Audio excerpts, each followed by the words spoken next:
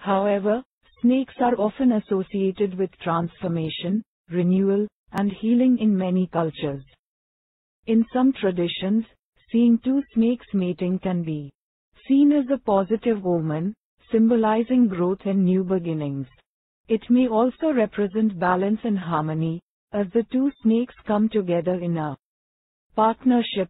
Female snakes give off pheromones that attract males.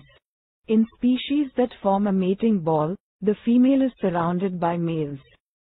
However, the female can control which of the males she mates with. Not all snakes reproduce sexually, some are able to reproduce asexually.